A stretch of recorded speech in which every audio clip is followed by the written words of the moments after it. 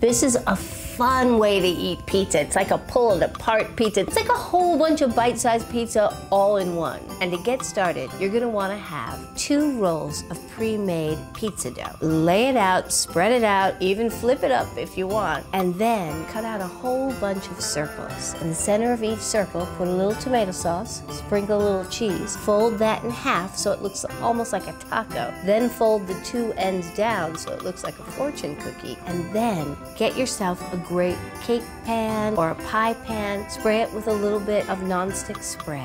And then take your little folded pizzas and put it so that the two ends of the pizza face in the center of your pie tin until your entire pie tin is filled. Then sprinkle a little bit more cheese, pop it in the oven. When it's cooled down and you bring it out of the oven, just turn it over and you'll see that pizza pie will literally stay like it's like a big old piece of coffee cake right there, ready to be pulled apart. Remember, life is better homemade.